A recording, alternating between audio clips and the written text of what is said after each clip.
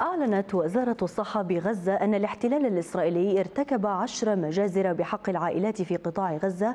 راح ضحيتها ما يزيد عن 100 شهيد وجريح خلال الأربع والعشرين ساعة الماضية في اليوم الثالث والثلاثين بعد المئة من جريمة الإبادة الجماعية.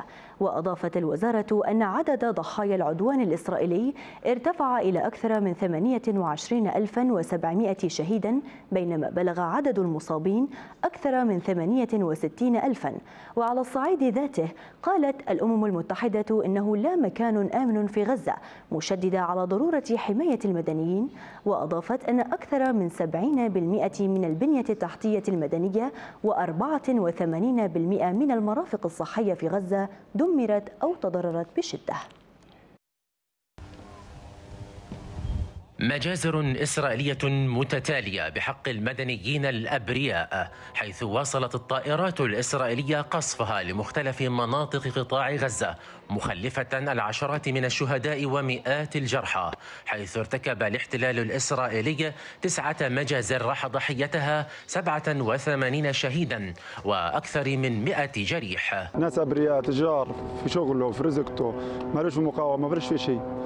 ضربوه هو ونسائب اللي جوا كلهم ما ضلش من الدار كلها غير اثنين بس اللي عايشين واحد منهم اصابته خطيرة وواحد كويس. الباقيين كلهم راحوا شهد الله يرحمهم. بدي أتأكد يعني هذه صاحبيتي بنتهم وأمهم و... بدي أتأكد من الحدث. مش قادرة أستحمل الوضع هذا اللي إحنا شايفينه هيك جيراننا كل جيراننا وحبايبنا راحوا.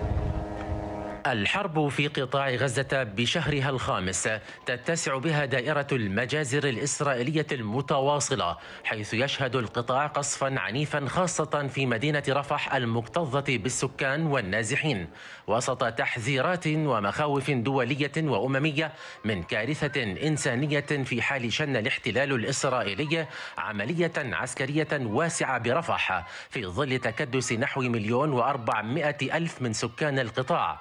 فالنازحون هنا قلقون من عملية عسكرية محتملة واسعة النطاق خاصة أنه إذا وقع الهجوم فإلى أين سيذهبون؟ كل المخيم بده ينزح بس وين مكان آمن في قالوا على المواصل روحوا على الدير على النصرات كلهم يعني شوشونا. فإحنا بدنا لو في مكان آمن يقولوا لنا روحوا عليه استقروا فيه بنروح عليه. أما غير هيك مش طالعين من هين وين أروح أنا؟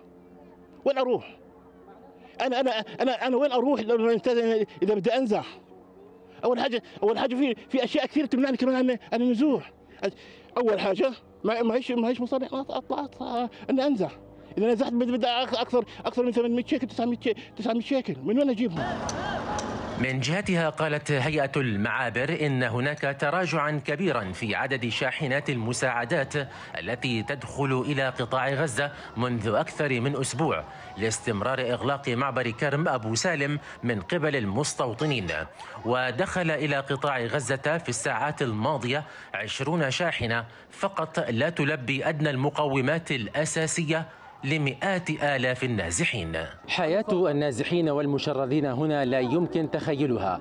فالحرب والعدوان وقلة الإمكانيات زادت من تفاقم الأوضاع المعيشية لديهم في مراكز الإيواء بغزة.